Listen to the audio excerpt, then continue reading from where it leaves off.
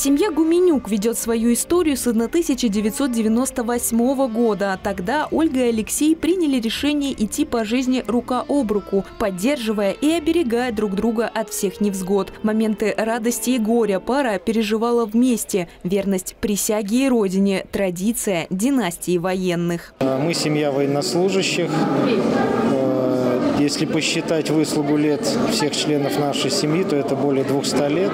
По этой же стезе пошли и дети Алексея и Ольги. Дочка Анна учится на первом курсе военной академии в Санкт-Петербурге. Сын Андрей мечтал стать врачом. В феврале минувшего года он покинул отчий дом. Пункт назначения – зона СВО. В марте фельдшер роты погиб, спасая товарищей. Родители удар судьбы встретили мужественно. В памяти остались только светлые воспоминания. Например, путешествие – это еще одна традиция семьи.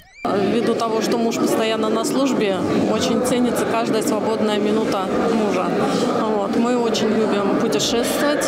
А, У нас очень много совместных семейных мероприятий проводилось. И выход просто на природу, выход с палатками. Ну конечно, вот путешествие по всей стране нашей большой.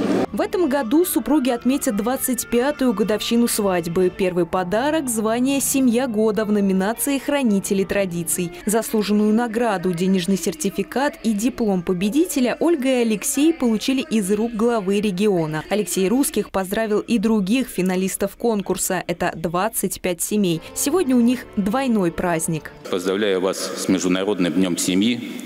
Желаю вам и вашим близким крепкого здоровья, семейного тепла, домашнего уюта и благополучия. А еще удачи. Она пригодится всем победителям регионального этапа конкурса. Их определяли в шести номинациях. В сентябре комиссия определит, кто представит Ульяновскую область на всероссийской площадке. Это своего рода мотивация для каждой семьи – познакомить с добрым и вечным как можно больше окружающих. Э, Уже на сегодня видно, что уровень э, подготовки и участия в этом конкурсе у семей совершенно другой.